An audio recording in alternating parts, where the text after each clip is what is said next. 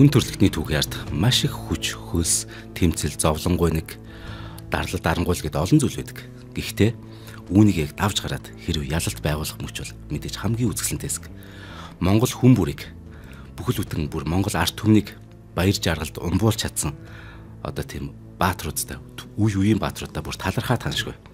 Түүхэнд тодор үлдэх энэ ялтын мөчүүдээс өнөөдөр нэгийг онцолж төвшинлэг доктор хөтлөх зандаа бит хоёр ярих болно.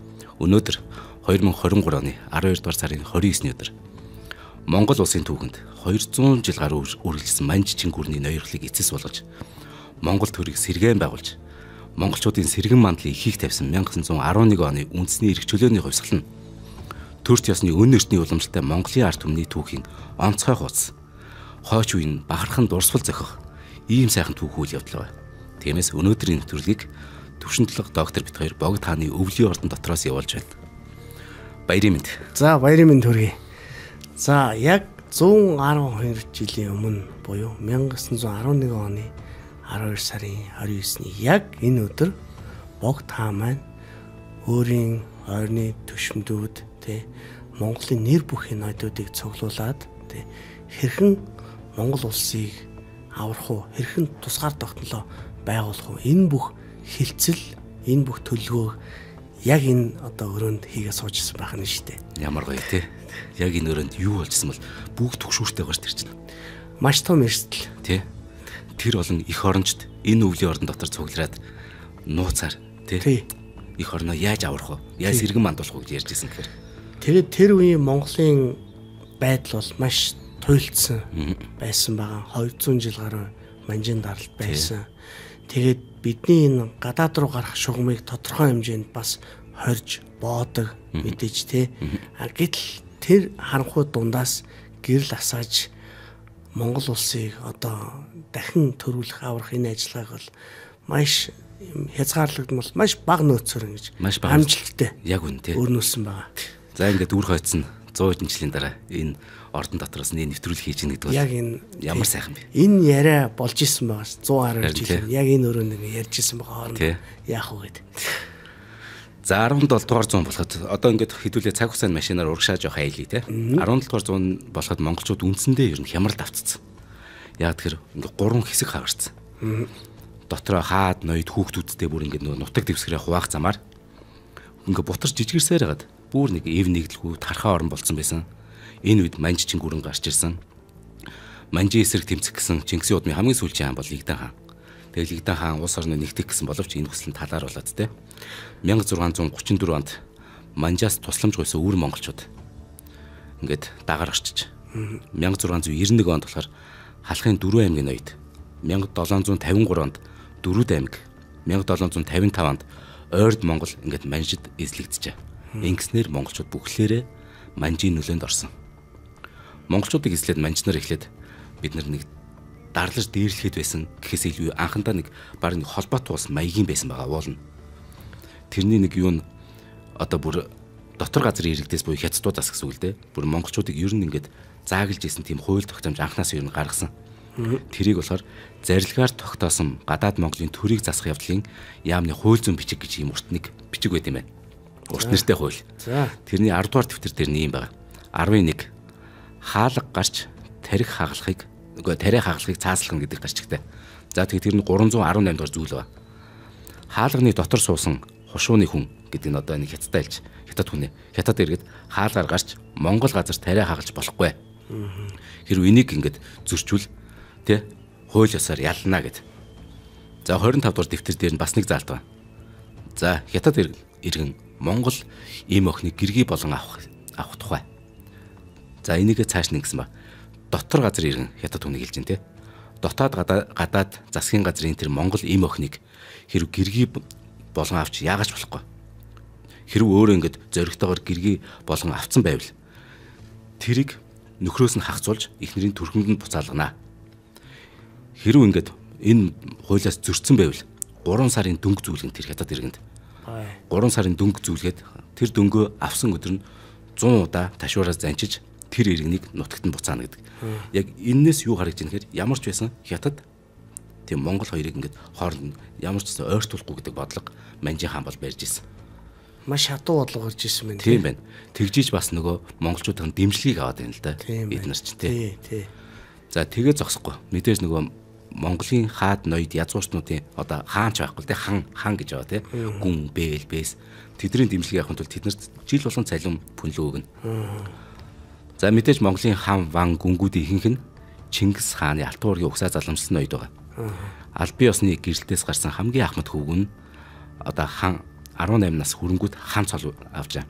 Хааны угсаа заламжлана гэсэн үг. Энийг гэхдээ Манжин хаан батлана. Хааны бусад хүүхдүүд нь болохоор тайж болно. За ингээд Бээжингийн засгийн ордноос тэднэрт бүгдэнд нь пүнлүү болгоно. Хаан хүн 3 жилд нэг удаа Манжин хаанд очиж амрыг ирэх учиртай Бараалах нь. бараалах нь. Гэхдээ 9 цагаан бэлэг. Тэгээ морь тийм ээ цагаан тийм ээ морь тий. Одоо. Гэхдээ ингээд хамгийн гол нь тэр алтан уургийн хүн байгаа шүү дээ. Очиж хааны өмнө ингээд тий бүхийж ёслно гэсэн үг. Яг үнэндээ хичнээн хэдэн мянган лан цалин авсан ч гэсэн энэ бол гутам шиг байхгүй тий. Тий шүү дээ. Эн чинь Чингис хааны удам гэдэг бүгд л мэдж байгаа шүү дээ. Тэгэхээр энд э, бас нэг сонин зүйл анзаарч байна л да. Манжи хаан яагаад Монголын тал нутаг дээр хятадын иргэдийг явуулахыг хориглов? Э, Энэ цаагаараа бас энэ эртний Монгол хятад хоорондоо маш их хоорондоо дайсгандаг, их зөрчилтэй байж ирсэн. Тэгэхээр зэрэг зүгээр л э, Монголын газар нутгийг энэ хэдэн зуун сая хүмүүсээр ингэ тараачих нь буруу. Монголчууд хизээ нэгэн цагт бас биднэрт хэрэг болж магадгүй тэр байлгаад байна шүү дээ. Яг үнэ. Яг л хятадуудыг бас хүчээр барьж байгаа шүү дээ. Тий шүү дээ. За ингээд жил бүр Бээжингийн ордон Монголын тэгэхээр хаан ван гүнгүүд зориулж жил болгон шүү 120 мянган лам мөнгө өгдөг байсан баг. Цалин болгож, цалин бүнлүү болгож 3500 толгой тийм торг зарцуулдаг байж. За бүр одоо ингээд зэрэг нэмхийн өмнө гэдэг кино байдаг те. Яагаад зэрэг нэмхийн өмнө тэр Монголын хаад ноёд гэдэг сүулдэ яагаад тэр өөрийнхөө тэр зэргийг нэмэх гээд бүр улаарад бүр ингээд хятадын хаан манжийн хаанд те ингээд ноёд түвшинд хахуул өгöd байна. Энэ шалтгаантай юм байна. За хан гэдэг одоо Сэцэн хаан одоо сайн ноён гэдэг хан цолтой хүн жил бүр 2000 лам мөнгө мөнгө авна. Жил бүр 2000 лам. А Чинван бол одоо чинь маа Чинван хаан дөрж гэдэг шиг Чинвангууд бол жил бүр 1200 лам мөнгө. Ингээл 800 шууд багсаа авчиж байгаа. А Жүн Шатлалтай. Тийм Жүнван болохоор 800 лам мөнгө. Бэл болохоор 500 лам мөнгө жил болгон. Бэс 300 лам. Гүн болохоор 200 лам. Засаг тайжнаар 100 лам мөнгө. Нэмэх нь торг дурдан байгаа л да. Инхээр нэг гэн зэрэг ахихад л хамаагүй хит дахин өсөө өвчиж орлоо. Энийний төлөө эндээс те нэг зүйл ойлгомжтой. Гэхдээ энд нэг юм байгаа нь хутагтууд манжийн засгийн газраас ямар ч эрх мэдэл аваагүй байгаа байхгүй. Хутагт хуйлгаад те манжийн хаанаас ямар нэгэн цалин пүнлүү олгодгүй гэсэн үг үед. Тэгэхээр монголчуудын хувьд манжийн хаанаас цалин пүнлүү авдаг тэр алтан уургийн ноёдоос илүүтэйгээр хэдийгээр одоо төвдгөн боловч богж авдсан дам хутагтыг тэ яагаад монголчууд тойрсон шалтгаан энд байгаа. Манжийн хаанаас цалин авдаг, пүнлүү авдаг алтан уургийн ноёдуудад Монгол ард түмэн дурггүй шүү дээ. Тий. Тэ. Тэгээд нөгөө талаараа энэ ноёдууд ч маш их тэндээс цалин авч байгаа шаталтай системтэй болохоор манжи хаанда өнөнч байх асар их тийм шалтгаантай болчихж байгаа. Яг үнэ. Барьцаанд орчих. Тий. Тэгэхээр энэ хүн ха- хаашаа зүтгэж ийм гэхлээр ард түмнийхэн төлөө биш зөвхөн анхаарал нь тийш явж байгаа. Яг үнэ. Энийг бол маш бодлоготойгоор ингэ зохион байгуулалтаа хийсэн байгаа мэдээж. Тий. А тэгээд нөгөө арт түмэнч болохоор хотогт хувилгааз те богд хаанд ч ингээд үргэл барьц ихээр өгөөдөөс нь эн чин зөрүүд нөгөө энэ манай ноён бол манжийн ханаас цалин авдаг бол би энэ хотогт хувилгаазтай их оронч хүмүүстэй би өөрийнх нь байгаа юм өгнө гэдэг байгаа юм. Сони үзэгдэл шүү те. А тэгээд нөгөө талаар бас нэг сонин анзаарсан юм нь бид нар очиж тий манай найдууд манжи хаанд бэлэг өгдөг.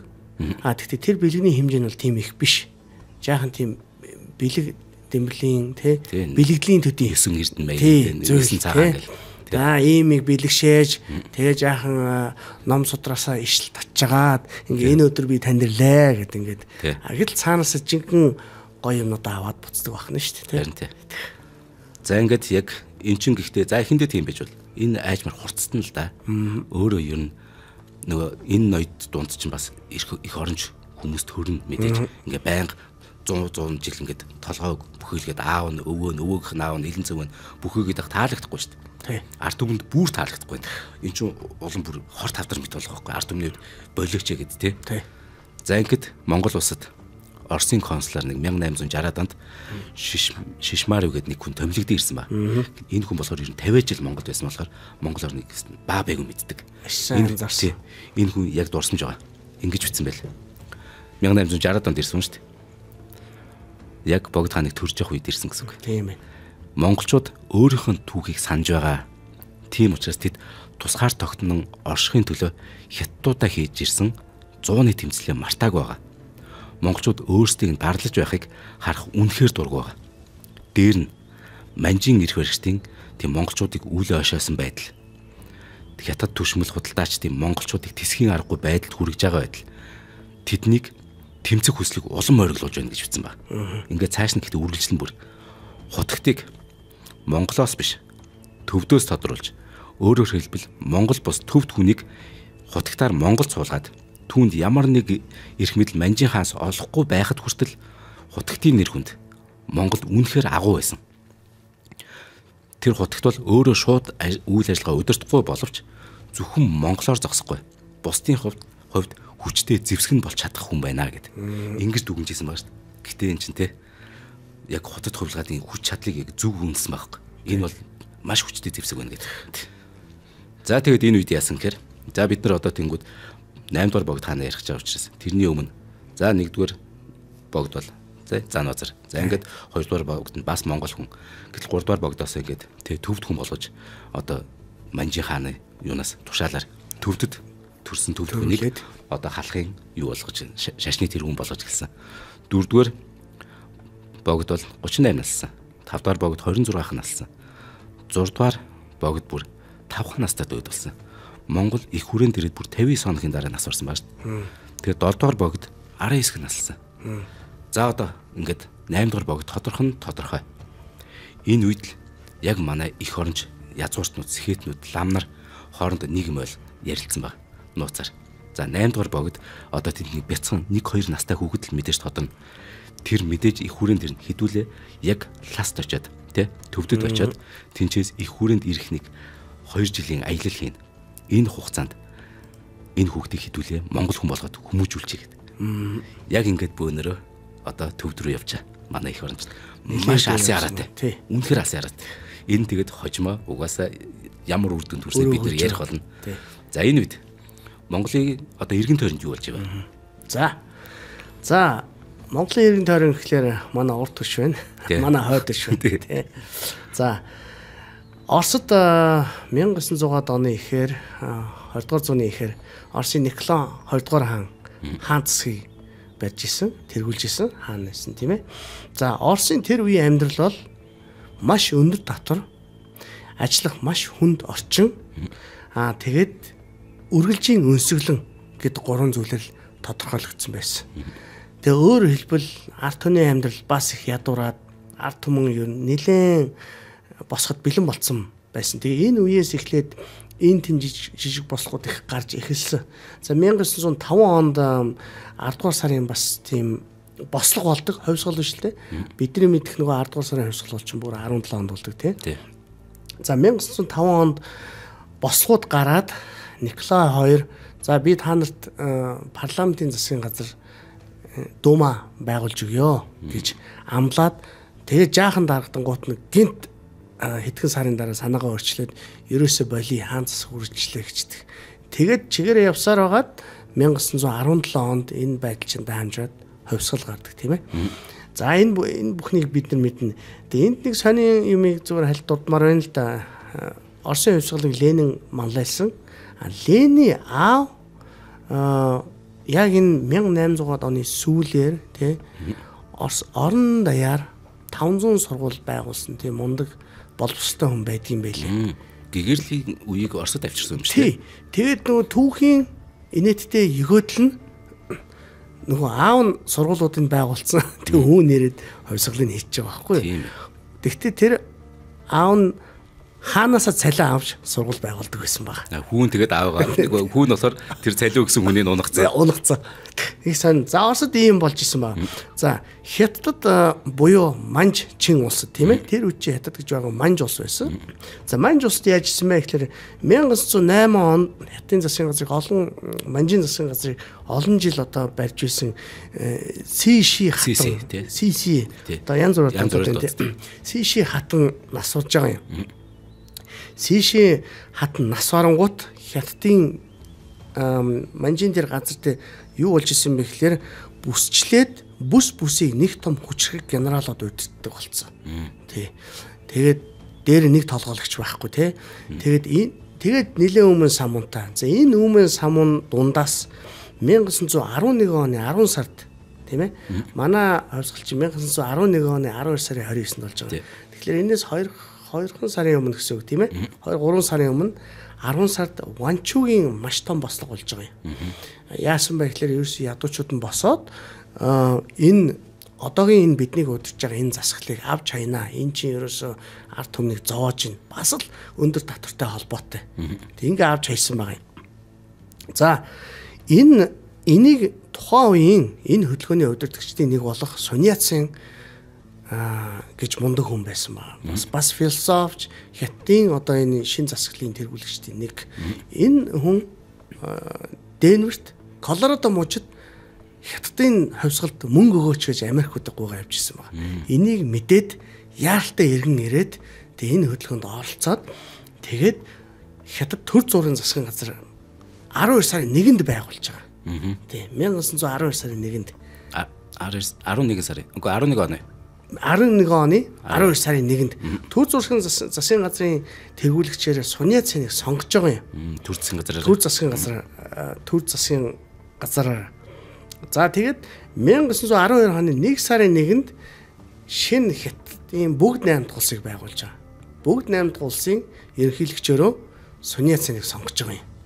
Аа за. Тий. Тэгэхээр манайхнаас 3 хоногийн дараа. Яг 3 хоногийн дараа байгааз. Тийм биз дээ. Тэгэхээр бид нар яаж исэн бэ гэхээр манай бог таан болон тэр үеийн төрийн эрхийг барьж исэн хүмүүс энэ 12 сарын 1-нд бос үйл явдлыг мэдтсэн байсан байгаа. Тийм. За хятадын засаг солигдчихлаа. Бие ясаар солигдож байна одоо.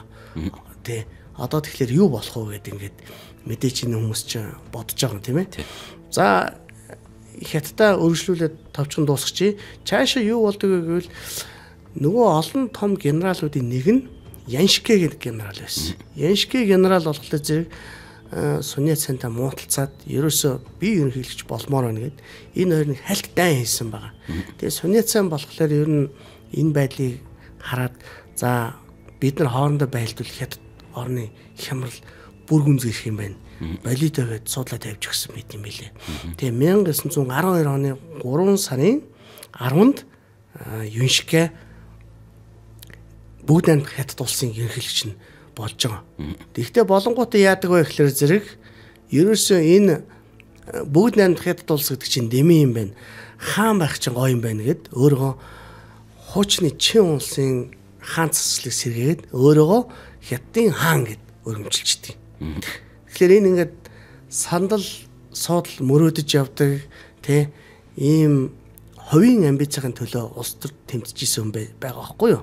Аа Суня цайн бол эсрэгээр бас хятадын төлөө их явжсэн. Ард түмний тариачд ядуучдын төлөө. Тэгэд Яншка энэ үйл гарангуут нь маш том бослого болоод хитгэн сарын дотор буулгачдээ. За тавчхандаа Монголын одоо гадаад хоёр улсад ийм юм өрнжсэн.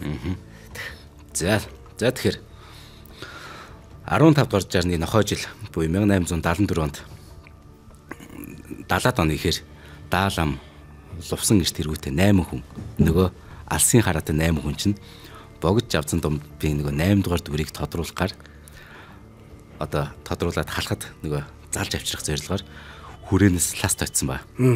Тэгээд далаалам ванган эрдэнэ нарт ингээд айлтгах чам тий 8 дугаар богдыг тодруулаач гэд. За тэгсэн 12 дугаар далаалам пирлэж амц халахын 8 дугаар богд авсан дамбыг дүрийг 15 дугаар жарны шарагчин могоо жил буюу ласын ойролцоо 1869 онд мэдлсэн Далай ламын өөрийнх нь санхүүж тэмчнэлэг түшмэл гончиг цэрэнгийн дөрөвдүгээр хүү болон мэдлсэн тэр хүүг тодруулаад аравжуун сахил хүртээгээд ингээд Агван лувсан чойжин ням данзан ванчик гэдэг алдрыг хайрлажаа. За энэ бяцхан 2 3 настай. Бяцхан хүүхд төвдөөс төрөл төрөстэй аавтай, нээжтэй, ах дүүтэй ингээд долуулан ингээд төрөл төрөстэй ингээд манай нөгөө их оронч чинь ирээдүйн алсын ярд их орончд ингээд замд явж маш удаан явсан. Зөрүүдээр ч гэж магадгүй би одоо ингээд сөөлхөр зүгээр бараг 2 жил явсан байхгүй. Тэгвэл нөгөө 2 жил орчим аялсан энэ аялал юурдунд яасан гэхээр аава ээжигээр төвдөрч бараг хилд ороогүйсэн нөгөө хүүг чинь монголоор хилд оролцсон. Энэ гэхдээ үнэхээр ас ярах шүү дээ. Хүн яг монгол хэлээр сэтгэж байгаа нь монгол хүн шүү дээ. Ер нь бол Тэгэхээр яаж утсан эдгээр чинь харийн нутаг дээр ингээд гацаал ингээд суугаад байх мэдээ сонирхол байхгүй шүү дээ. Тэгэхээр энэ аялал ийм удаан болдог учир нь бол би бол энгийнүүдээр харахад бол мэдээж энэ хөвг монгол хэл, монгол дадал сурга гэсэн л ийм яагаад гэвэл ард түмэн дэ хурж ирээд Монголд хүрээд ирдэг нөгөөх нь монголоор ярьж чадахгүй бол одоо эн чинь хүмүүс яаж үлээж авах вэ? Яг үн тий. Монгол соёлоо мэдэхгүй бол яаж үлээж авах вэ тий? Тэгээд энэ үе чинь нөгөө манж чингүрэн чи өөрөө авилгад итгэцсэн. Ер нь хаад ноёд манай ноёд язгууртнуудаас гадна ард түмэнтэй бүгдээр л ер нь дургу байхад одоо нэг л хүнийг тойрч хүрээлнэ гэдэг энэ асар төс мэдээд шүү дээ. Энэ бол 8 дугаар богдол байх бол энэ хүн тэгвэл яг Монгол сэтгүүтэй Монгол хүн байх хэрэгтэй. Асар их ач холбогдол өгөөд хэлсэн байна тий. Тэгээ зөвхөн Монгол хэл ингээ заахаас гадна эн чинь нөгөө энэ аялалд чинь үнэ мал саах тэгээ адуу малтай ноцтолдох бүх юмыг ингээл зааж өгнө шүү дээ. Хараал явж байгаа шүү дээ. Гэрээ яаж болох уу, барих уу тий. Тий. А эсрэгээр төвдөд бол энэ хүмүүс чинь зүгээр нэг сүм хэд өссөн цагаас ороод үсээ усаа суучна. Тий. Эдний ахын заншил бол шаал ондоо байгаа шүү дээ. Бидний нүүдэлчний ахынгоос. Тий. За ингээд 1874 оны 10 дугаар сард 8 дугаар богд Жавзан дамб хотод маань тэг Монгол орондоо ирсэн. Ингээд синтез залах их ёсл үлдсэн. Халах дөрвөн аймаг шав 50 хушуунаас ихэс дээдс сүсгтэн олон мөргөлчөд оролцож Манжин хаанаас төрүүчийн богдод нэг олгож байсан цол хэрэгм нөгөө алтан навчд өрөмжл гэдэг алтан хамаг ингээд олгосон ба. За ингээд 17 наснда Далай ламаас Жавзан дум гэдэг цол өрөмжлөгдөж тамхтай хутагдсан шарын шний одоо хамгийн том гутгаар одоо зэрэгтэй болж байгаа. Одоо энэ жав жавзун дам гэдэг нь жив гэдэг нь ер нь богд гэсэн үг. Богд гэж өөрөө ер нь буддаа гэсэн үгний ингээд сунжирсан нөгөө явсараа түүхэнд богд гэж буддаа л гэж ярина. За жив гэдэг нь богд. Жив 100 гэдэг нь 100 гэдэг нь тойн буюу лам хүн тэ. Одоо хутагт юу гэдэг тэ санваарт. За дам гэдэг нь сүлдгээд. Ингээд богд тойн сүлд гэсэн утгатай үг юм байна. Их олон гүн гүнзгий утгыг л ингээл агуулаад бүгдийг нийлүүлсэн биз тий. Тийм байна. За тэгээд багасаа мэдээ шашны эрдэм ухаан суралцаанд монгол хэлээ те үнэхээр сайн сурж монгол амьдрал ахуй соёлд ээнэгшин дасаж ингээд монгол ухамсар сэтгүүтэй аль хэдийн болцсон юм. Ингээд нас бие хүрэхэд аль хэдийн энэ хүн яг цэвэр яг үнэн монгол хүн болж байгаа юм бол тий. 1893 оны тэгсэн чинь 100 7 хошууны даншиг наадмын дараа Монголын ноёд богд гэгэний хамт хуралдаад Бээжинд төлдөг нөгөө татвар жил бүр өсөд байна. Монголчуудын байдал улам хүндрээд байна гэд одоо яг нухацтай ярилцъя гэд. Богдхаа өөрөө баг энийг саналж ирнэ. Энэ ноёд үсттэй хамтдаа. За одоо хэдүүлээ нэг ярилцах цаг болсон байна. Энд чи хэдэн онд гинэ? 1893 онд. 1893 онд.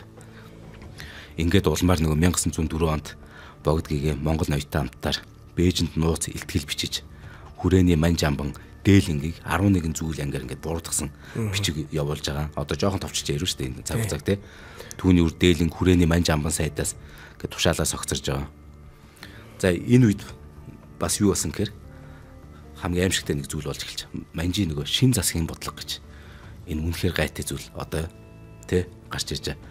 Яасан гэхээр 20 дугаар зууны ихэр буюу 1901 оноос эхлээд энэ манжчин ус Монголын талаар урд нь баримталж ирсэн нөгөө бодлого шууд өөрчилж байгаа энэ шин засгийн бодлого яадаг гэхээр хятад иргэдийг Монголд олноор нь суушуулнаа. Тариалан эрхлүүлнэ. Нөгөө түрүүн хоригдсан залтууд бүгдийг өвчнг болгоцсон. Тэрч бүл хятад иргэд Монгол ихнэр авахд хориггүй болж. Тэгээд энийг энэгээр зогсоогүй. Монгол цагдаа, цэрэг, хэрэг, хөлийн харуул бүгдийг Монгол биш хятад иргэдийг болгож. За ингээд ерөөсөө за одоо л ойлгосон. Одоо бид нарын төсвөр алдагдсан гэдэг. Яг одоо ноёдууд те богд хаантаа энэ ордонд одоо нөгөө ингээ сууж сууж байгаа. Тий. За 1893 онд гэхэд богд хаамаа дөнгөж 30 э, шахан настай байсан байна. Тэгээ ийм залуудаа ингээ төрийнхөө эсрэг санаа зовоод эхэлсэн. одоо яах вэ хүү гэх тийм ээ явж исэн мэн тэр цаг үед тэгэхээр бас үнэхээр л онцгой хүн байсан шиг санагдаж байна. Тэгээ би энэ дээр бас нэг юм нэмж хэлмээр санагдлаа. Юу вэ гэхээр зэрэг энэ үед мэдээж манай алтан уургийн хүмүүс байсан байгаа тий. Энэ хүмүүсийг бодлоготойгоор болгон санамсгүйгээр юм уу ингээд төрийн хамгийн дээр бол гарахгүй байсан байгаа. А гэтэл энэ хүн төвдөөс ирчээд ингээд яа харахгүй өссөн газар минь гэдэг нь Монголын төлөө зүрхэн цохлоод байна. Тэгэхээр Монголын төлөө зүрх цохоход заавал нөгөө нэг Монгол цустай одоо энэ энэ гэж заалтгүй. Яг үнэ. Хүнийг Монголын төлөө зүрхэн цогцоогоор ямар үйл хийж ийн Монгол төрийн төлөө яаж амьдарч ийн гэдгээр нь шүүл илүү зохистой юм харагдаад байгаа. Тийм тий яг үнэ. Эний бас нэг тод жишээ илүү хэдүүл удахгүй ярих болно. За тэгээд 1900 нэг 10 оны 3 сарын 26-ны өдөр нэг аимшигтай юм басан ба. Яг энэ нөгөө бид нар нөгөө одоо уур царын дээцэг гэж байдаг бол нэг жижигхэн үйл явдал харахад жижигхэн үйл явдал дараа нь ямар том зүйл болдгийг те? Хоёулаа нөгөө философа хүн төрлийн түүх дээр ярьж ирсэн шүү дээ. Нэг нөхөр тэр худалдааны нөгөө ширээн дээр гараал те? Ойрлоход Францын хувьсгал хэлүүлсэн шүү дээ. яг тэрэн шиг басан ба хүрээнд арх уусан гурван лам байгаа. Тэгээ хятадын тэгээ арх уужгаад жоохон согтцсон хятадын пүүсийн худалдагч нартай маргалцсан байна. Ингээд зодоо эхэлсэн. Тэгэд гол нь цагдаагийн үүрэг гүйцэтгэж байсан. Тэр үчин цагдаа нь монгол хүмүүс хятад болсон байсан баг. Ингээ ер нь хүнд муухаш ингээд гудамжаар явж цагдаа нь хятад хүн байвал. Тий. Тэгсэн нөгөө хятад цагдаа нар чинь очиод нөгөө лам нарыг баривчлаад. Тэгээ цагдаа газар л авч явахыг оролцсон ба. Тэгсэн чинь тэнд байсан харж байгаа нөгөө монголчууд харж байгаа бүгд боссон ба. Нөгөөдүүл нь байхгүй болтон задаад тэгээ нөгөө пүүсийг бүр дээрэмцсэн эвд зүгтгээд энэ тухай мэдээ хэн авсан гэхээр нөгөө манжин амбам сандо сандо амбам байж энийг мэдэнгүүтээ өөрийн манжаас томилгдсон байсан өөрийн биеэр ингээд зохицуулах гэж сүүхт иргэнтэй суугаад ирж байгаа. Тэгэд ингээд сүүхт иргэнээсээ буусан чинь яасан гэхээр тэр дунд угаасаа бөөн шууган болж шээ. Сандо амбаг хараад бүгд муухай ингээд нөгөө орилц орилцоосон ба. Одоо сандо амбаг муу муухай үгээр тэгээ монголчууд тэгээ чулуу авч шидсэн ба. Хараач зүхэл. Тий, яг үн хараа зүхэл. Тэгсэн нөгөөд чинь сүүхт хэрэгэндээ суугаад цугтж байгаа хөөх. Энчээс сандаа амбан яг нэг зүйлийг ойлгосон. Энэ яг нэг шүдэнц зурхад энд түүмэр дэгтгэд Монгол ус бэлэн болсон байна да гэдэг. Ингээ мэдчих жоох. Тэгээ энэ тухайга нөгөө одоо хятад руу нөгөө манжи тий хаан руу явуулж шít ийм болоод байна. Энд ер нь юу гэдэг байна гэсэн чинь хаан юу гэсэн гэр тэгвэл шин засгийн бодлого буюу түрүүний нөгөө аимшигтай нөгөө хятаджуулах бодлого шүү дээ. Энэ бодлого улам эрчимтэй явуул гэдэг тийм шиг төрс төрсэн. Аа энэ шин засгийн болгогч ерөнхийдөө хятадын талаас нөгөө сиши хатан чинь болон түүний одоо хөрөлгчд нь явуулаад байгаа. Эдгээр чи яаж исэн бэ гэхээр зэрэг тухайн үед яг сиши хатны өмнөх хаан чинь хятадыг шинжлэх гээд Ятын хөгжил Японоос хоцорчлоо. Энэ барууны хаар гээд энэ Америкийг хаар гээд бүр ингэ шинжлэе гэсэн чинь тэрний эсэргүүцээд барьж авч хориод тэгээ сиши хатан чи өөрөө хаан ширэнд хатааны ширээн залангуудаа бүх юмыг эргээд хуучин болгох гэх тээ. Тэгээ нөө бүх юмыг хуучин дарлын аргаар шийдэх гэдэг тийм л эргээд орсон. Тэгээ энэний илэрлэл нь бас ингэ Монголд бас явагдаж байгаа харагдаж байгаа байхгүй. Яг үн тий. Тий. За ингээд богд Жавзан дам хотогт 19-р 120 дугаар заны энэ зааг үеэр те Монгол орны тусаар тохиолдлын төлөө одоо ингээд маш их уулзалтууд хийж эхэлсэн. Энэ дунд үнэхээр яг өөрийнх нь үеийн хүмүүс байгаад идэх их сонио. Тий. Яг ингээд нэг дүү ч юм уу, за хоёр дүү эсвэл хоёр гурав ах ч юм уу. Тэр нэг мундаг хүмүүсийг л яг өөр олж харсан их сонь байдаг тий. Дандаа төрсэн хүмүүс нь 1860-аад оны дундуур төрсэн байгаа юм тий. Тэгэхээр зэрэг яг 1905 он гэхлээр чи эдгээр чинь 40 шахаж байгаа хүмүүс болоод байгаа хгүй 40 гарам ганц хоёр нэг тий. Тэгээд төрөүний жишээн дээр бас дуртахад нөгөө лам нар чинь тийм баримт хийх юм бэлээ. Зүгтаад богдын ордонд ирж нуу хүртэл нуугдж исэн тий. Аа тий. Тий. Тэгээд э, тэр тэд лам нарыг хамгаалдаг.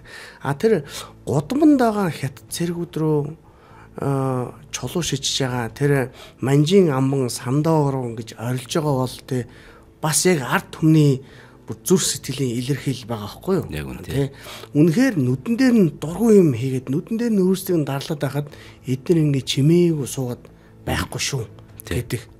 А энэ бас ард түмний илэрхийлэл энэ ард түмний дээр омгшил чинь альва бас өөрийгөө аврахад маш чухал үүрэг гүйцэтгэж байгаа байхгүй юу? Энийг тэр тухайн ноёдууд бог таан ч гэсэн харж байгаа байхгүй юу? А хэрвээ энэ ард түмэн дугаал зогсоод яд яд бид нар ингээд дарлуулаад сууж яа гэвэл тэгвэл хаад ноёдон ч гэсэн заа заа тэгвэл тэгээд одоо бидний илүү баг илүүцсэн биш үү дээ. Ухааны бодох байхгүй юу?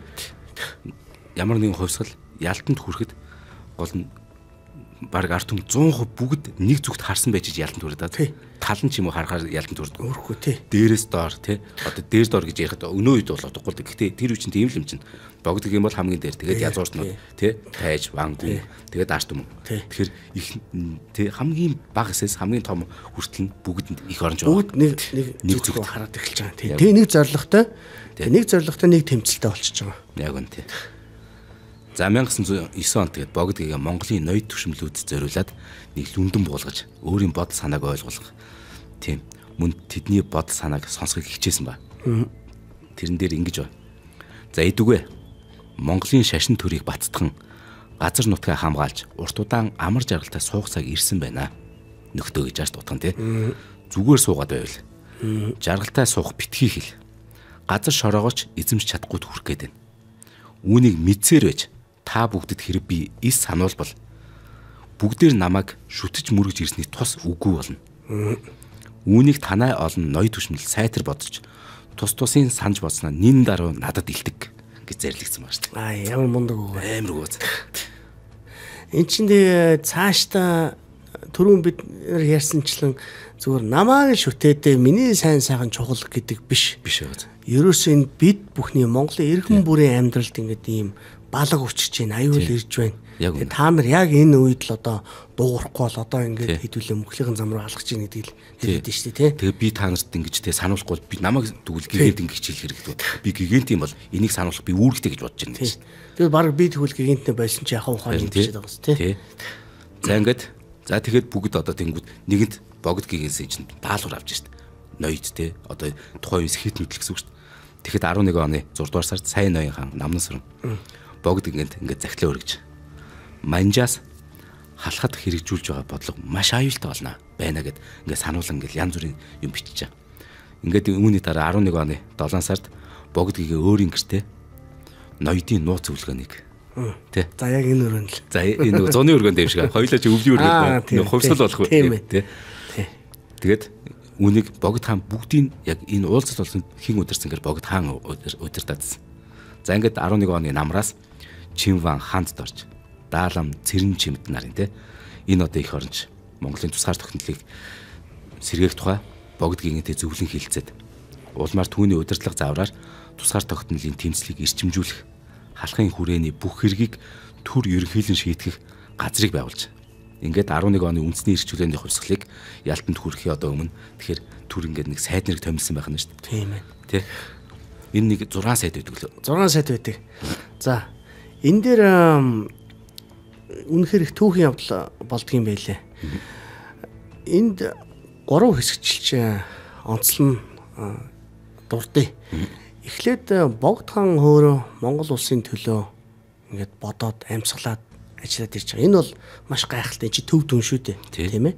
За энд өссөн юм чи одоо ингээд газар нутгийн төлөө тэмцээ тэмцээ. Бүр дургуйгаа өөрүүлэн чинь тэгээд өөрөөхөн нөгөө бараа хөргөжтэй аваад яваад өгч болно шүү дээ. За өөртөө хангалттай мөнгө байгаа. За энэ монголчууд тэгээд одоо Чин- Чингис хааны нутаг өөртөө болно үстэй гэл тий.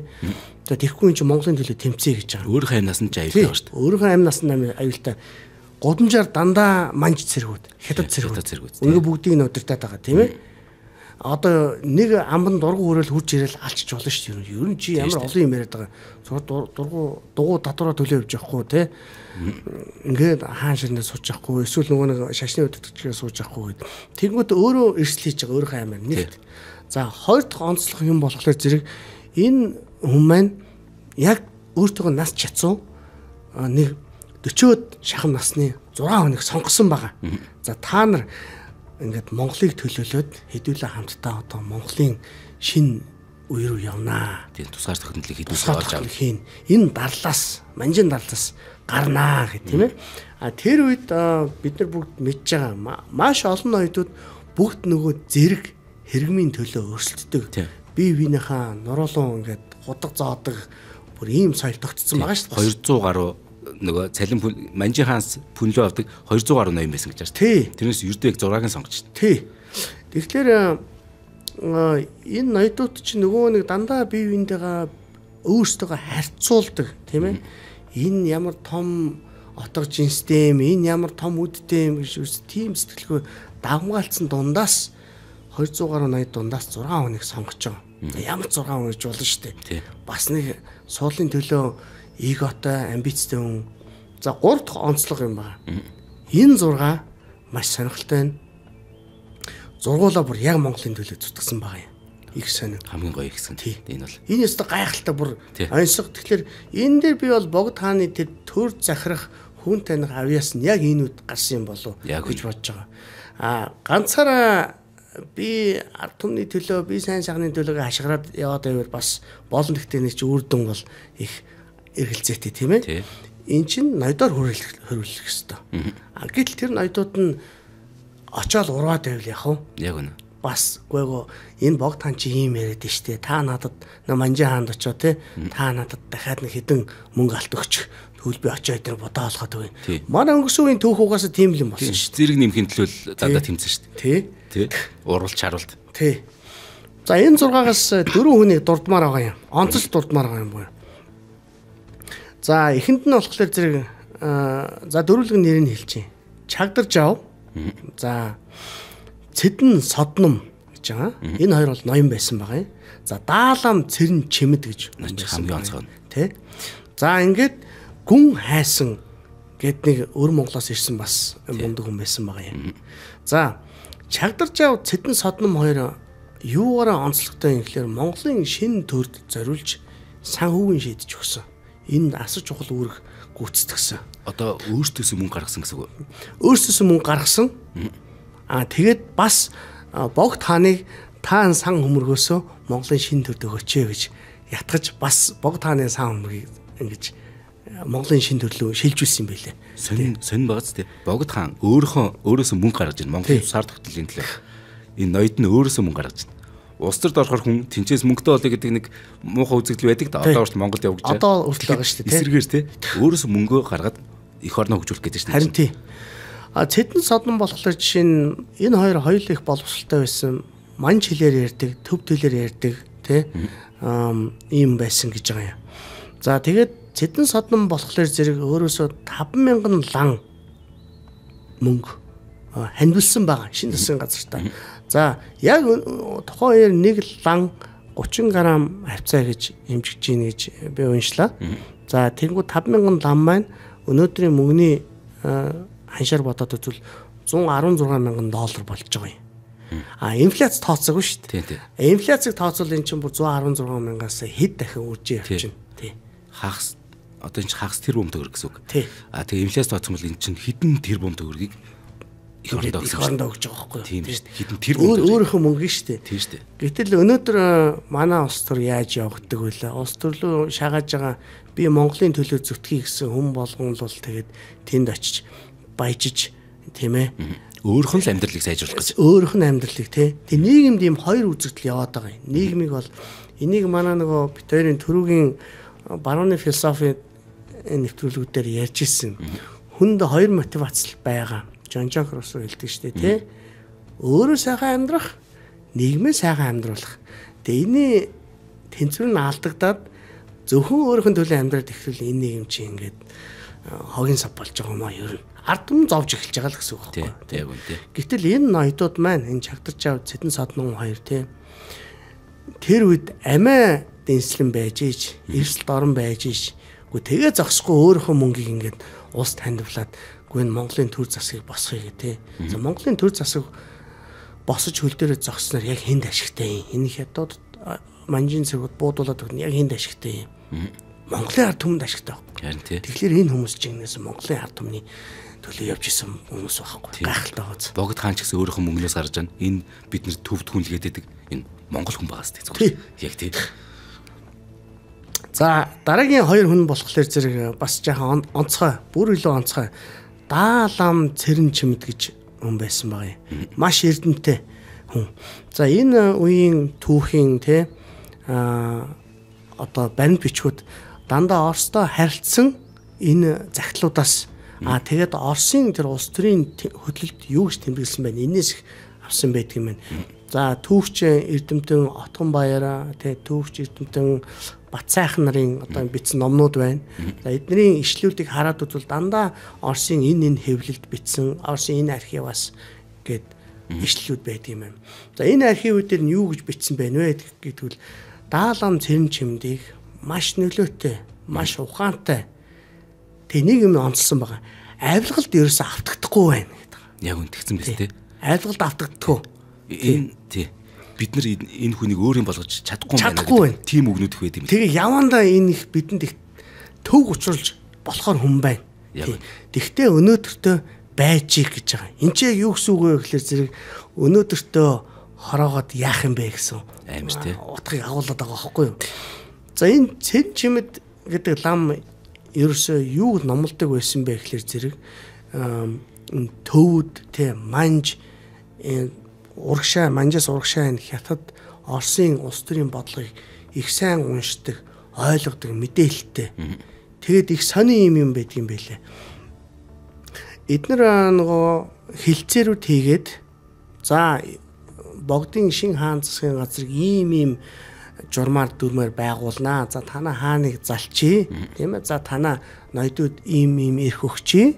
За ингээд монголчууд хаантай боллоо болно үсттэй гэсэн чинь цэрэн чимэд лам юу гэж оруулсан бэ гэхээр олон улсад аливаа улсын тунхыг тодорхойлохдоо хаа нэг нь тодорхойлдгоо. Аа газар нутгийг харж үздэгэ. А гэхдээ гуравдах нь ард түмнийг нь бас хамруулдаг. Та нар манай ард түмний тухай яагаад хамруулахгүй байна гэж байгаа. Тэгэхээр энэ хүн үнэхээр нөгөө нэг ингээд үнэхээр гэгэрсэн гэж тийм. Түмнийхэн төлөө жинхэнэ хэдэг юм шүү дээ. Цэрэн чимд дааламыг 1915 онд одоо яаж ч тий хорлуулаач юм ингээд нас байгаа шүү дээ.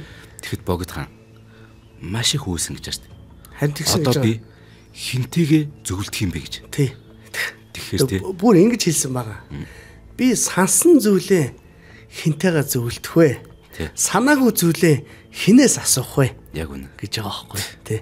Тэгэхээр бүх нарийн юмаа тэгэхээр энэ цэрэн чимд лам чин дотор бас дайсантай байсан гэж байгаа. Тэгвэл богд хаан тэрийг мэддэг. Гэхдээ богд хаан өөртөө хамгийн ойрхон байлгадаг. Тэг энэ бас их сонин илэрхийл. Богд хаан зүгээр л өөрт нь хамгийн их долгондог, өөрт нь хамгийн үнэн чүнийг байлгаж болдгоо юм уу? Энэ зэрэн зэмтэй чи орсуу зогсоо зайгүй энэ шудраг хагуулт автагддгүй ерөөсөн монгол хэл гэдээчдэг гэ тэ. Орсууд яг их дургу байсан бэ гэхээр энэ үеийн унс төр яаж явж ирсэн бэ гэхээр зэрэг манжин хараат орох гээд байгаа тул манай найдуудын хэмжээгээр орсуудаас тусламж хүсэж исэн. Буу авъя ийм юм зүйл авъя туслаач гэх тэ. Энэ байдлыг ашиглаад орсууд баг Монголыг өөрхөн нэг хаяат улс болгочих ирмэлцэл асар их байсан. А гэтэл энийг цэрэн чимэд лам даалам ойлгоод тааны тусгаад авах чинь баярлаа. Тэгтээ Монгол бол монголоор л үлдэнэ. Оросын чарайт биш, манжин чарайт биш гэдэг. Яг үнэ. Тэгээ энд нь Оросод маш их игдүүцч ингээд түүхийн амар их юм баримтууд бас байдаг юм байлээ. За. Дөрөвдүгээр хүн нь болохоор. За дөрөвдүгээр хүн нь болохоор гүн хайсан. За гүн хайсан бас э, төв тэлтэй өвөр Монголоос ирсэн. За энэ хүн юугаар онцлог вэ гэхлээр зэрэг өвөр Монголд хятадуудын эсрэг өвөр монголчууд боссон баг. Энэ бослогод оролцож байлдж явсан хүн. Аа тэгэхээр сүүлд нь тэрнийхэн дараа нь Монголд ирээд тэгэд өөрөө харбин хяахт монголоор ингээд маш их аялж исэн. Тэгэд аялах бүртээ хүнтэй уулзах төртмөө болгондоо Монголын тусгаар тогтнол гэдэг юм ярьдаг байсан. За энийг нь бас нөгөө л нөгөө Оросуудын түүхэн архивд их олон удаа дурдсан байгаа юм. Гэхдээ энэ гүн хайсан гэдэг үг чинь өөр Монгол хүн тэгснээ ингээд тийм нийт Монголыг зогсоо зайгүй ярьдаг. Тэгээ мэдээж нөгөө өөр Монгол, ар Монгол гэж байх ёсгүй. Нэг л Монгол байдаг ч гэдэг юм байнга ярьдаг тийм ээ. Тэгэд ерөөсө зогсоо зүг ингэж номлодог, ингэж ярьдаг хүн байсан. Тэгээ маш их ухаантай ийм төрийн одоо улс төрийн талаар их сайн ойлголттой байсан болохоор зэрэг богд хаан их хажуудаа авчиж маш их зөвлөддөг, их ойр дотныхон зөвлөхөө болгосон байсан ийм Мм, Тэгээд Богд хаан өөрөө гүн хайсан 1911 оны үндэсний хувьсгалд хамгийн их одоо нөлөө оруулсан хүмүүсийн нэг гэж бүр өөрөө тийм бичиж зарлиг гаргаж шагнаж байсан тийм түүхээ тийм билээ. Ийм. За тэгээд За ямарч байсан. Ингээд төр одоо энэ нөгөө газраа байгуулсан одоо бид нар нэг л юм үлдсэн. Энэ бол үндэсний тусгаар тогтнолоо зарлах. Заарлах тийм. 1911 оны 12 дугаар сарын 29-нд богд гээгэн богд гэгэнийг бүр Монгол улсын эзэн хаан ширээнэ залсан баг. Ингээд тусгаар тогтнолоо тунхаглан төрийн их ёслыг явуулсан. Яг тэр өвлийн ордон дотроос нь доктор төвшинлог бит хоёр нэвтрүүлгээ үргэлжлүүлж байна. Үргэлжлүүлж байна. Тий. Тэгэхээр 1911 оны 12 сарын өмнөөс болохоор бид нар чинь Богд хааны Богд хаан гэж шүү дээ. Хаан ширэнд заламжлаагүй байсан гэсэн үг үү? Тий. Зүгээр шашны тэргүүлэгч. Богд гээгэн. Гигэн. Тий хаан биш. Хаан биш. Тий. Тэ. Тэгэхээр эн чинь яагаад хаан гэж байна? Энийн ард нэг юм яваад байна те. Яг үн тий. Зүгээр гэгэрнэр өгшүүлж болдгоо юм уу? Монголчуудыг удирдах гэгэн гэ те. Алтуургийн хаадны үед байсан уу байсан. Гэхдээ эн чинь эвгүй байхгүй тий. Яг бол урдны түүхээ харахаар эдгээр чинь нэг хідэн мөнгө пүнлүү цалин пүнлүү торог дурд арчаараа урвчаад шүү дээ. Тий. Яг хэн урвахгүй? Тэгэхээр богд хаант л бүгд итгэсэн шүү дээ. Энд дунд өрсөлдөгч Алтуургийн ноёдууд байсан уу? Байсан. Гэтэл за би тэгвэл ингээд нэг ноёно гэж бодъё. Намайг хаан болчвол тэнд нэг хүн уурлаа шүү дээ. Тэрийг хаан болчвол би өөрөө уурлаа шүү дээ. Тэгэхээр бүгд хүлэмжшүүлсэн ганцхан л хүн байсан. Тэр нь л богд хаан баг. Богд хаан. Богд гээ. Бигийн аа тэгээд үүнээс гадна нөгөө 12 сарын 1-нд хятадд м, Суньяцэн чи ерөнхийлөгч болж байгаа шүү дээ.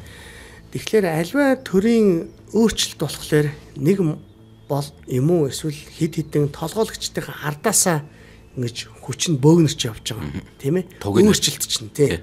Тэгэхээр эдгээр маань бодож байгаад хоорондоо ярьж байгаа за ер нь хаан ширээг дахин бий болгоод энэ ширээнээрээ богд хааныгаа залъя л гэдэг ерөөсөө ийм шийд төрсэн байгаа. Тэгээ юу болоод байгаа вэ гэхээр Орос мэдээж хаантай. Тий. Аа хятад хаантай. Манж хаантай тийм ээ. А гэтэл Монгол хаантай байх хэрэгтэй байна. Тий. Монголчин ингээд ноёд тэр үед нөгөө дандаа ноёдын төлөөлөд болчиход байгаа шүү дээ. Одоо хаантай болж иж Монголыг төлөөлөөд бид нар засгийн хаан, улс их үндэсний хаан дуу хоолойг олон улсад өргөх гэдэг. Яг үн тий. Нэг зэрэг зиндаанс ярилцах гэдэг шүү дээ. Тий, Тий. Хаан хаан хоёр хооронд юм ярихад зэрэг зиндааны зөрүү үсэж. Зөрүү үсэн шүү. Тэгэхээр тий манжин хаантай. Николай хаантай нэг хаан ярих хэрэгтэй. Хаан ярих хэрэгтэй. А түүнээс ш- шашин төрийн тэргүүн ингээд хаантай ярилцаад тахлаар тэр хаан чинь одоо мэдээж шууд доошоо харж ярилцах гэдэг байхгүй юу? Яг үн тий. А чи улсыгаа төлөөлж байгаа юм тэгвэл танад өөр шашин байгаа юм ингээд ингээд олон асуудал үүсэж байгаа зү тэ. Тэгэхэд ягаад заавал яг 12 дугаар сарын 29 гэхээр энэ үнэхээр яарсан баг.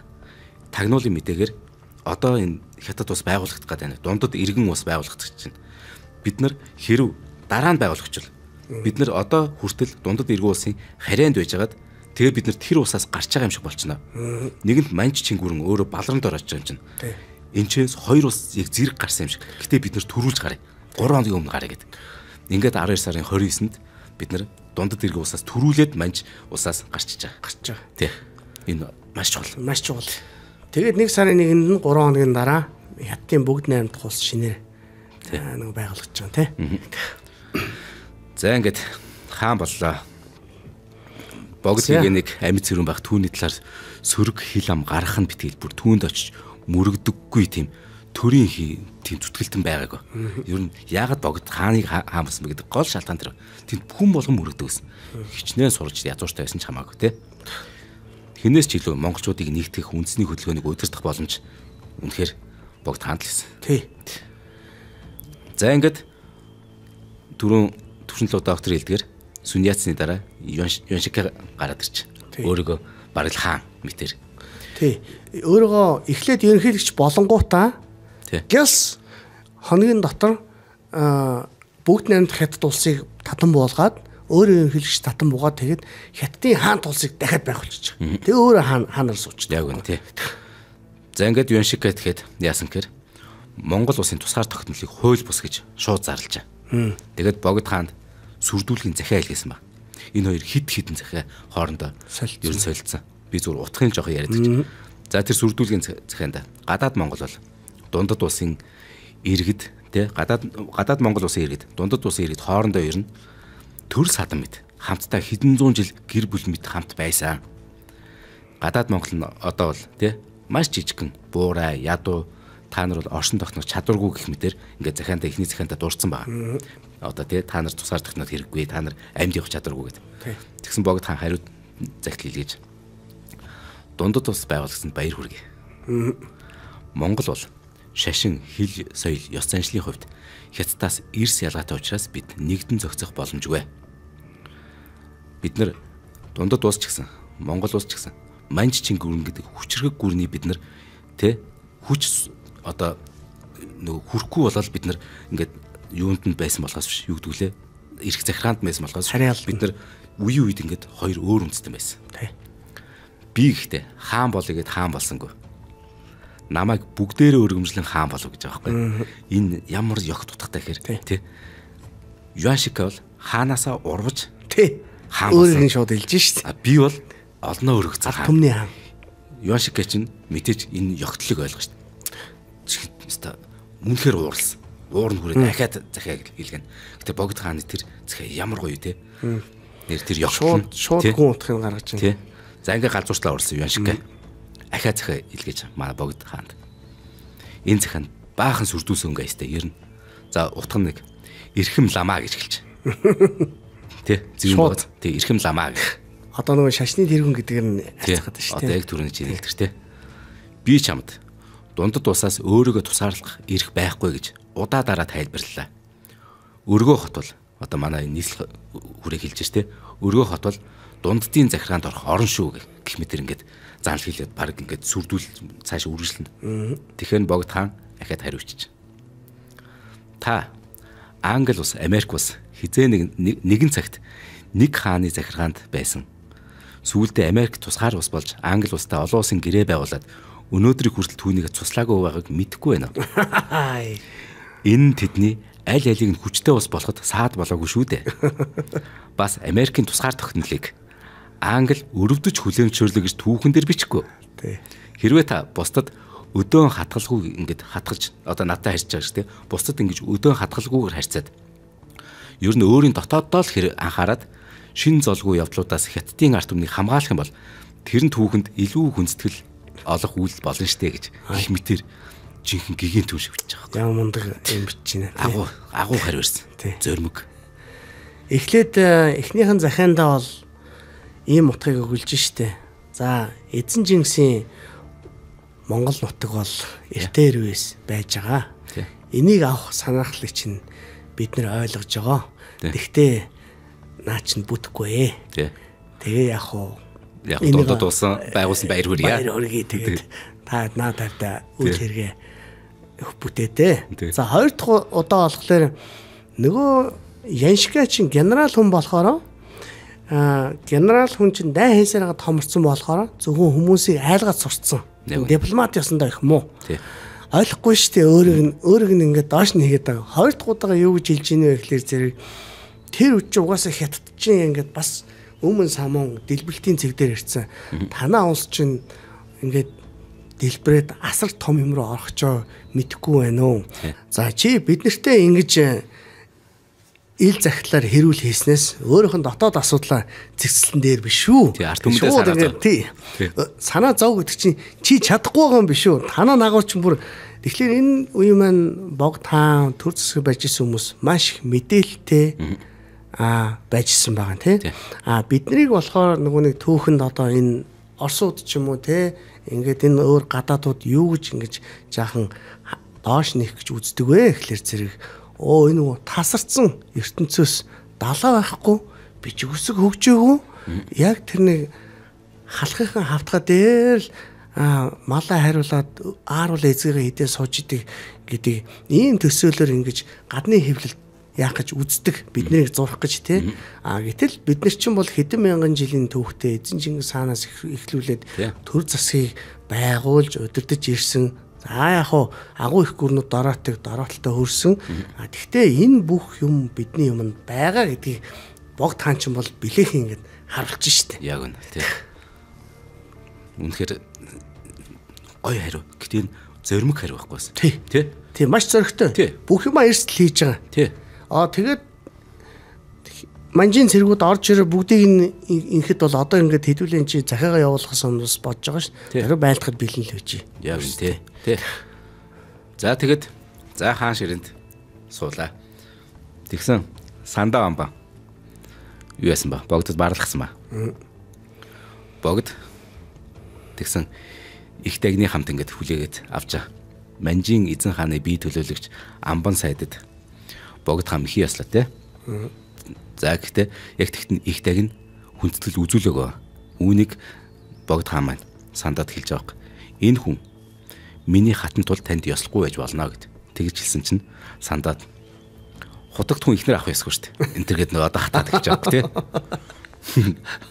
За тэгэхээр 1911 оны 12 дугаар сарын 29-ний өдөр богд хаан ширээнд одоо хий нэг дондог тул матник тий бас улсын их тагинд өрөмжилж аль биесаар ингээд аль биесаар хатан болж Монгол улсын. Тий. За дондогдлон мат маань юу хийсэн гэхээр яаль цэцэрлэг байгуулсан.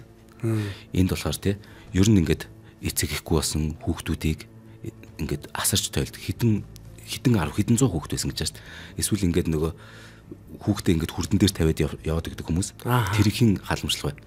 Энийг дондогдуулан хатан өөрөө тэргүүлдэг байсан.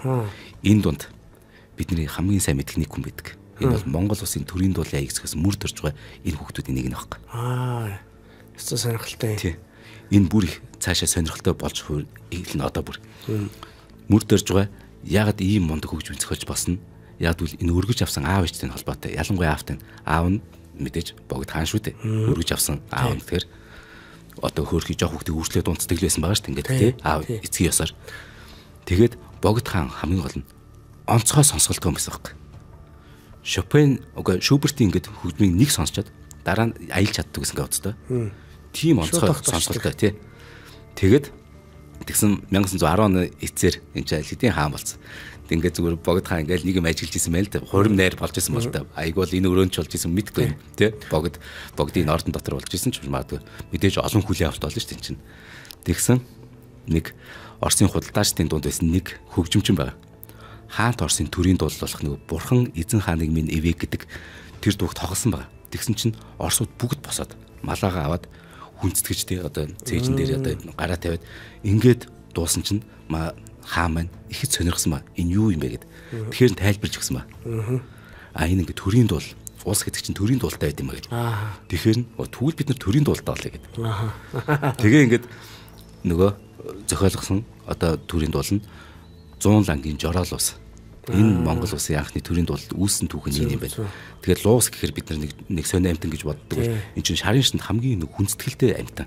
Аа. Тэгээд Монгол улсын анхны төрийн дуулал тэгэхээр За за. Сонирхолтой. ийм түүхтэй учраас мөрд орж байгаа тий. Ийм хүний дэргэд өссөн болохоор агуу гэж үнсгэж болсон ч магадгүй. Тийм, тийм. Гайхалтай төгөө байна. За богд хаан Монголын Монгол төрийн тусаар тогтнол нийт монголчуудыг хамруулахыг хүсэж исэн. Тэгэд за бид нар те Монгол улсаа тусаар тогтнуулчлаа. Бидэн дээр ирж нэгдээ гэд. Өөр Монгол бүрээд хэлмэ одоо хаашаа чинь бүх тийшээ ингээд зар бичгээ явсан. Бүгд л одоо нэгдээ те. Гэл одоо чинь өөр Монголын 49 гушуунаас 38 нь дэмжиж Монгол улс дагаар орохоор мэдгдсэн баа шүү дээ. Яг одоо нэг харах жоохон амжилт болоогүй нэг юм байгаа л да. Гэтэл яг тэр үзэгдэл үнэхээр тий Тий. ямар сайхан Тэгээ түрүү нэг гүн хайсан те. Өвөр Монголд бослогыг удирдаад бас явж байсан. Хятадуудаа байлж байсан те. Бас тийм байгаа. Тэгэхээр эн чин угаасаа энэ ху- хуваагдал бол хиймэл хуваагдал бид нар чинь нэг арт түмэн энэ угаасаа нөгөө нэг манжийн бодлогоор бодлогын үр дүнд бий болсон хуваагддаг гэдэг мэдэж штэ тий. Тэгээ бүгд л одоо Чингисийн монголчууд гэ тий. За тэгээд одоо нөгөө дундад иргэн ус чинь одоо жинхэнэ богд хааны тэр захидлын дараа тэг бөө юм болно. Одоо цэргээ оруулна. Монгол ус 1919 онд те. Одоо ингээд богд хаан маань ер нь бол төр өдөрт та болж байгаа. Одоо Монгол улс түүхэндээ анх удаа яг жинхнээс яг эзлэгдэж байгаа. Ер нь ингэхэд нийслэл хүрээг цэргийн хүчээр эзэлсэн хятад.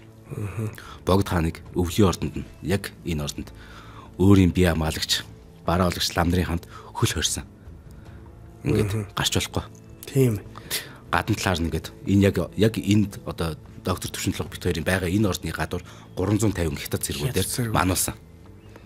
Энэ үед гэтээ хаант орсон тий нэг цэргийн эргэтэн бараа өнгөр нь Тий.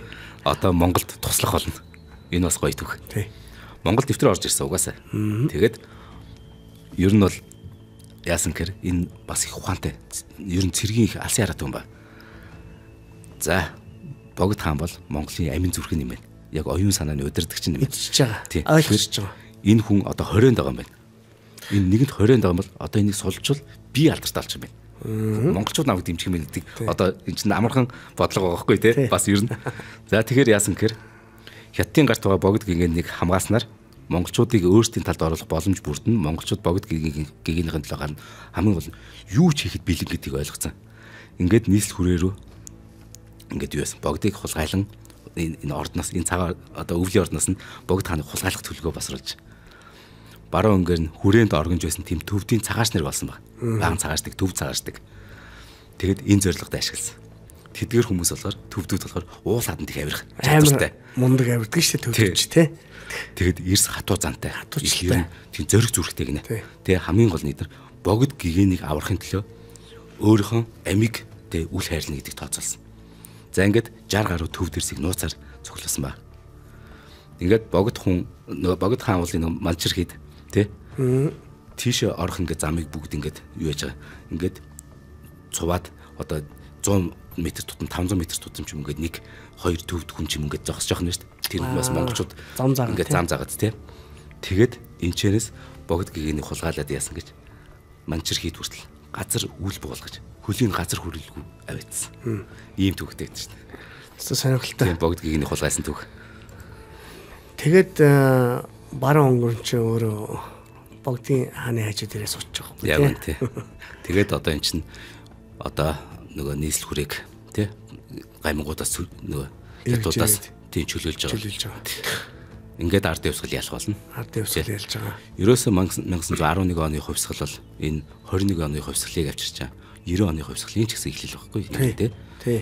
Нэг хувьсгалэхээр нэг хэдхэн жил болдог шүү дээ. Тий. Энэ сонирхолтой нь 1911-ээс 1921 он яг 10 жил өмнөсөн байгаа үст Тий. тий. Бидний хийж байгаа нөгөө нэвтрүүлэг дээр бас Яг ганцхан хувьсгал бас яг 10 жил үргэлжилдэг. Ийм төх байдаг. За баруун өнгөрний хувьд болохоор мэдээж нөө цэргийн хүн тий Оросын цагаан ханаас хаанд ялагдаад ерөнхийдөө наашаа аа, зүгтж орж ирдэг. Аа тэгээд яг уу энэ хүн талаар сайн муу их зүйлүүд байдаг л да тий.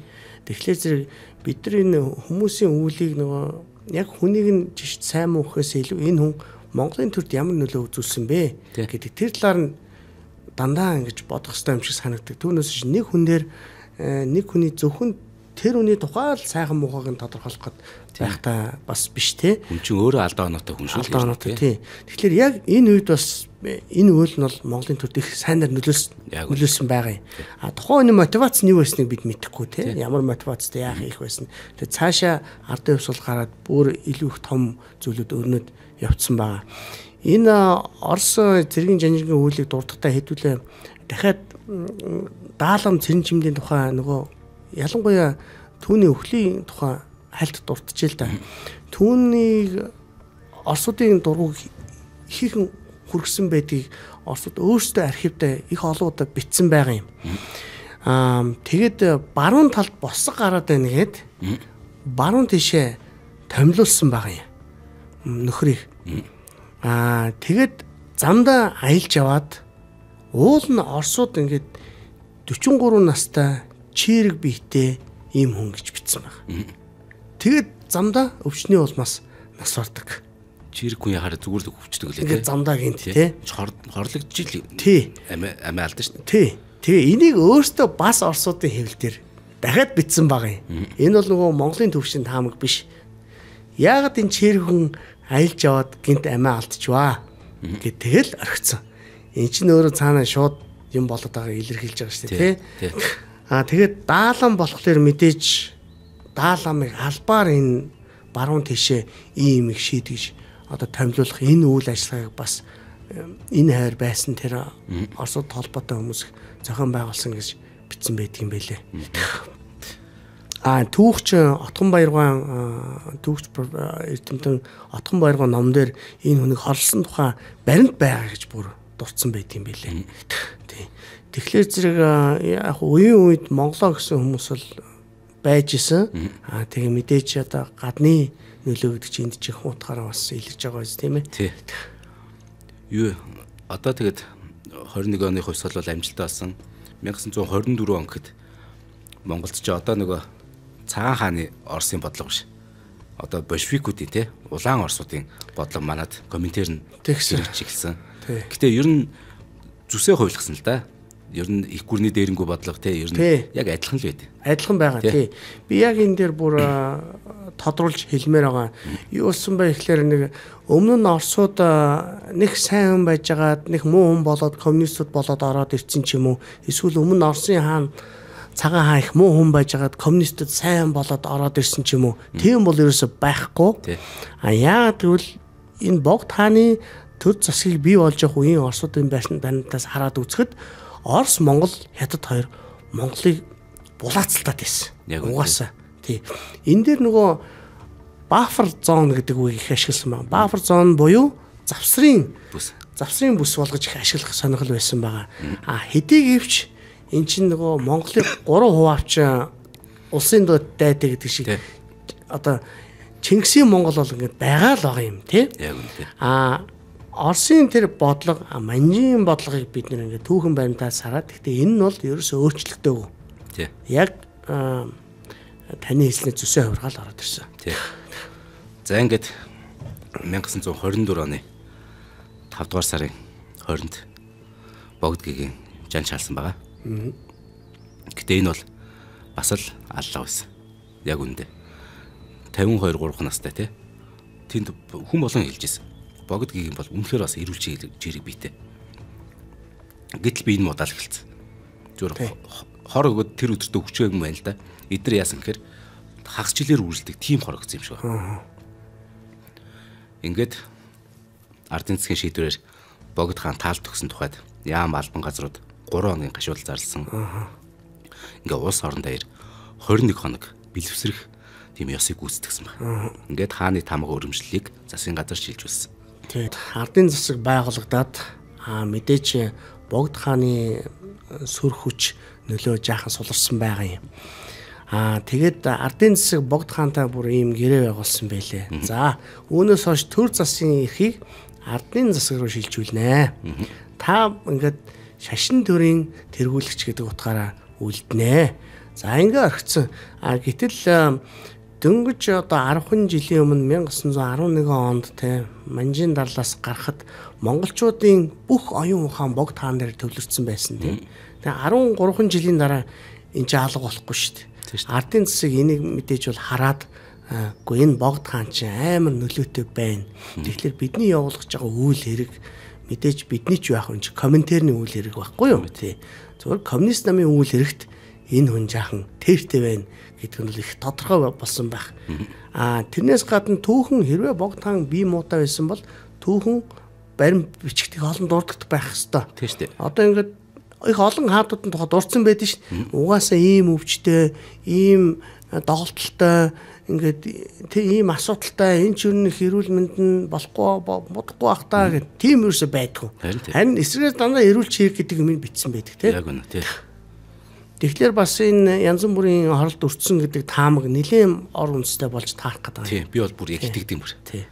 Яг гэвэл одоо зан азргийн гихт чинь л одоо 80 хэд налсан тий. Тий. Энд чинь ер нь эдгээр чинь өөрсдөө бясалгадаг учраас их эрүүлж хэрэг сайхан бийтэй байгаа шүү дээ. Тий. Бас ер нь. Нөгөө идэх уух юм ин цаанаасаа шашныхаа номлолоороо их зохион байгуулалттай зөв хоолож унтах. Тий. Зөв унт нь эдгээр чинь. Манай нойтойч нөгөө нэг тий. Хаврын суугаад.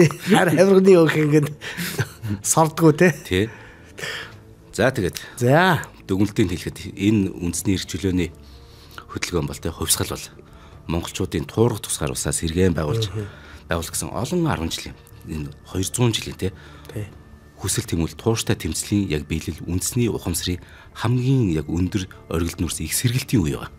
Энэ бол 12 дугаар сарын 29-ний өдөр үндэсний эрх чөлөөний хувьсгал олдыг баталгаажуулаад Монгол бас тусаар тогтнолоо тунхаглан зарлаж богдж авсан том хутагтыг хаан ширээн салж түүнд тамга далбаа өргөмжлөл хүндэтгэлийг өргөж таван яам бүхий засгийн газар байгуулах түүхэн шийдвэрийг гаргасан. Ингээд Монгол ус тусгаар тогтнолоо зарласнаар хэрвээ бид зовбол өөрсдийн эрхээр зовх хэрэг бид жаргал өөрсдийн чадлаараа жаргах энэ үндэс өөр тавигдсан. Тий. Үнэхээр энэ өдөр Монгол улс 200 гаруй жил үргэлжилсэн манжийн дарлаас салсан тэр өдөр эрхчлөлийг олж авсан Монгол хүн энэ цагаас хойш юу бодох яаж хийх те ингээд дахин шинээр одоо бий болж байгаа.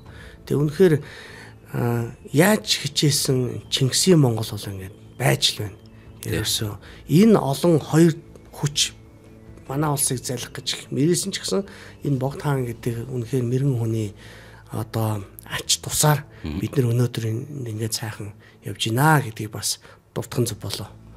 За тэгээд хамгийн эцэст нь хэлгээд энэ богд хааныхаа энэ ордон хайрлан хамгаалж байгаа энэ газрын бүх одоо тий ажилчид удирдлагт нь гол нь бүр баяр хүргэе гэж хэлмээр байна. Бас баярлаа гэж хэлмээр байна. Ямар сайхан авч үлдчих тий хайрлж хамгаалж байна вэ? Нэр одоо энэ ч газраас нь хумсалж эхэлсэн шүү дээ. 90 донд тэгсэн. Тэгэхэд эдгээр тэмцээр гад хамгаалдаг. Тэмцээр байгаа хитэн хүн тий. Тий. Тэгээ үнэхээр богд хааны энэ өвлийн ордон бол яг бидний монголчуудын дунд бол үлдсэн хамгийн одоо үнэт өв тий одоо музейн хэсэг бидний бас том соёлын нэг хэсэг болсон байгаа. Тэгэхээр энэний төлөө ингэж хайрлж хамгаалж явж байгаа энэ сайхан музейн удирдлагуудаа энэ энд ажилтдаг бүх хамт олонд бас баяр хүргэж баярснаа хэлхэн зөв байхаа. Тэгээ энэ түүхэн өдөр бас ялангуяа эднэрт баяр хүргэн зөв болоо гэж бодчих. За ингээд бүх монголчуудаа хамгийн чухал баярын мэндийг хүргэе. За ингээд ТV хамт байлаа. Доктор Төвшинлог танд баярлалаа. Баярлалаа. Та бүхэндээ үндэсний эрхчлөөний тунгалын баярын мэндийг хүргэе. За баярлалаа. За.